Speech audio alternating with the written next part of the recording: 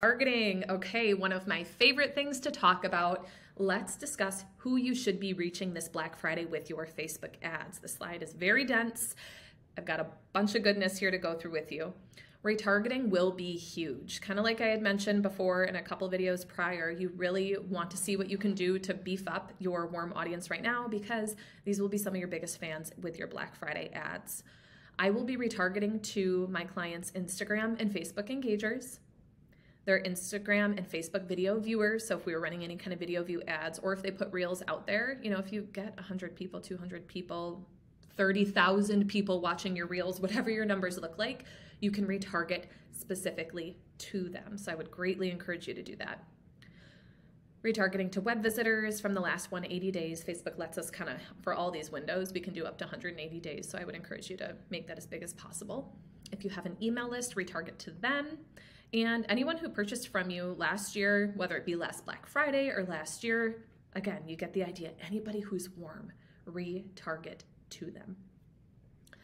All right, next, a look-alike to past Black Friday purchasers. Let me chat about this. If you ran ads last Black Friday, and I guess even if you didn't, if you had at least 100 people who purchased from you during a given period of time, you can create a look-alike. What Facebook will do is they're going to say like, oh, hey, we know that these were engaged shoppers of this age, demographic, purchase behavior, etc. They're going to take that group of people that you give them and they're going to create an audience that looks similar and will likely to perform similarly. so if you did run ads Black Friday last year, or if you did have at least 100 people within a short period of time purchasing, upload that list to Facebook and they'll create an audience that again will perform similarly. The reason I like grabbing this is and I even I even do this actually for Christmas. I have some clients that have like really specific Christmas items and we will grab people who purchased Christmas items last year and we'll say Facebook create an audience that's likely to perform similarly because I want more Christmas crazy shoppers. Um, excuse me, caveat again, there have to be 100 people on this list for Facebook to take it, unfortunately. So if you're sitting here like, well, Jenny, that doesn't apply to me. I did not have 100 purchasers. Maybe my shop is newer.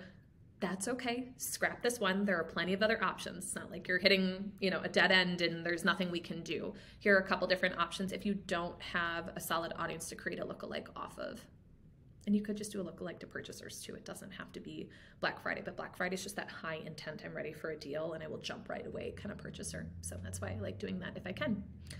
All right, you don't have past purchasers or an email list to retarget to or to create a lookalike off of. Here is what I'm gonna have you do. Excuse me, go ahead and do broad targeting. Broad targeting works extremely well for my clients these days. I will be running some of this for clients during Black Friday. What we will be doing is literally setting your country. I have uh, Australia and United States clients. So if you're in the US, I would just do US wide. Maybe you're looking for women only, ages 18 to 65. Do that and let Facebook do the rest. And it sounds crazy because you're like, well, Jenny, how do I even know that they'd have any interest in my product? Trust me when I say this is working very well for my clients these days across the board, across niches. So I would do some kind of broad targeting if you don't have any of these. And even if you do, if you've got the budget to play around, I'd consider it.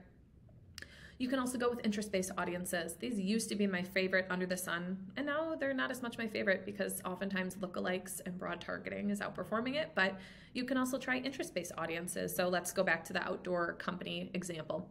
If you know that you are looking for people who maybe shop, also shop at REI, or Patagonia. You can type in those interests and create an audience with interests similar to what you think your shoppers might have.